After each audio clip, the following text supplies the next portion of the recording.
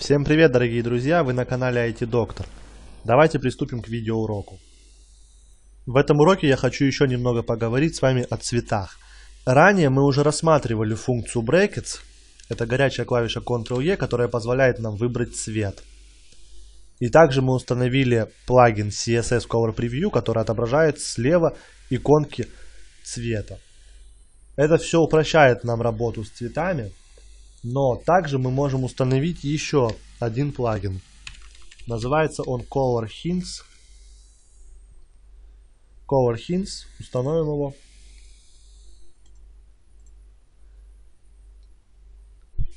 Данный плагин позволяет нам очень быстро выбрать цвет, который мы уже ранее использовали. Например, мы создаем новое свойство и пишем здесь color. Ставим решетку.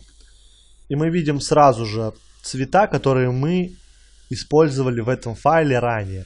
Мы можем выбрать из этого списка нужный нам цвет. Это очень полезный плагин, который позволяет нам выбрать ранее использовавшийся цвет и не искать его по всему документу, если вам нужно использовать его повторно. Давайте используем здесь несколько других цветов для примера.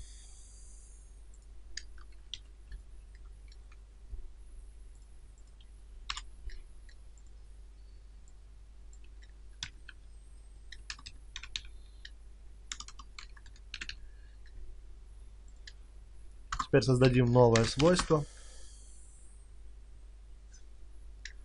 И напишем background, решетка. Теперь мы видим 4 цвета. Эти цвета мы использовали ранее. И можем в данной ситуации выбрать любой из этих цветов. И сразу же посмотреть их код.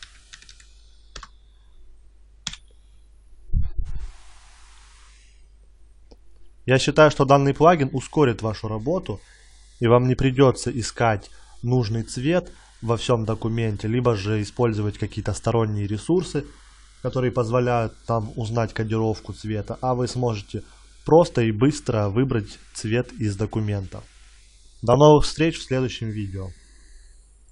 Не забывайте также подписываться на канал, ставьте лайки, пишите комментарии, переходите к следующим видео. Спасибо за внимание и до новых встреч.